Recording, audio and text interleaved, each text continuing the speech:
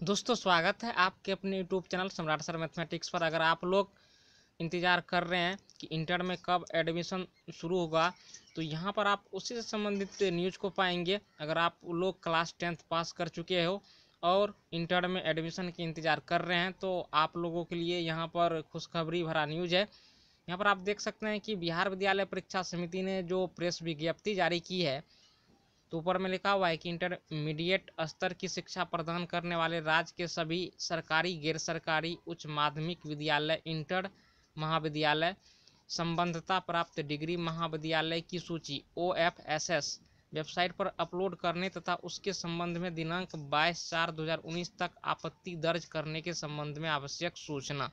तो इस बार भी O F S S online facilitation system for student के माध्यम से ही विद्यार्थी का जो है, इंटर में नामांकन होगा, क्लास अलेवेंथ में नामांकन होगा।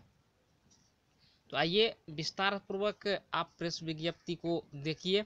एतद द्वारा इंटरमीडिएट स्तर की शिक्षा प्रदान करने वाले राज्य के सभी सरकारी, गैर सरकारी उच्च माध्यमिक विद्यालय, इंटर महाविद्यालय, संबंधता प्राप्त डिग्री महाविद्यालयों के प्रधान प्राचार्य को सूचित किया जाता है कि बिहार विद्यालय परीक्षा समिति से संबंध शिक्षण संस्थानों के विषयवार एवं संकायवार सीटों की संख्या से संबंधित सूची O F S S website W W W dot O F S S Bihar dot in पर अपलोड है। तो यहाँ पर जो है विषयवार सूची जो है, किस कॉलेज या किस संस्थान में, किस फैकल्टी में कितने सीट है, इनका डिटेल जो है ओ एफ़ एस एस जो वेबसाइट है, उस पर जो है यहाँ पर देख सकते हैं वेबसाइट, इस पर अपलोड कर दिया गया है।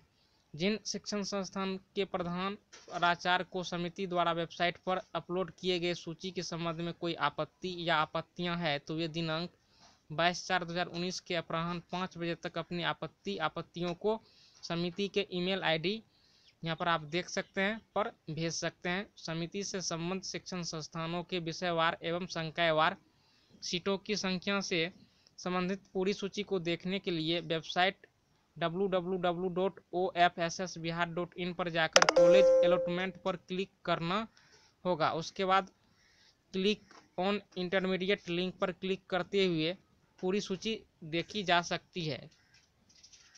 उल्लेखनीय है कि दिनांक 22 चार 2019 को अपराह्न पाँच बजे के बाद समिति को प्राप्त किसी प्रकार की आपत्ति या आपत्तियों पर कोई विचार नहीं किया जाएगा।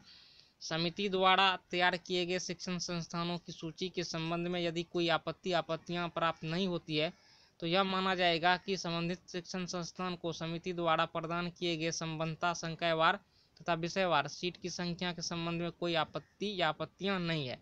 तो यहाँ पर आप देख सकते हैं कि विषयवार, फैकल्टी वाइज सीटों की संख्या भी अपलोड कर दिया गया है। अब जल्द ही इंटर में अलेवंथ में नामांकन शुरू होगा। बिहार बोर्ड से संबंधित और इंटर नामांकन से संबंधित अलेवन ट्वेल्थ का मैथमेटिक्स सॉल्यूशन हेतु तो इस चैनल को सब्सक्राइब करके बेल आइकन को दबा दें।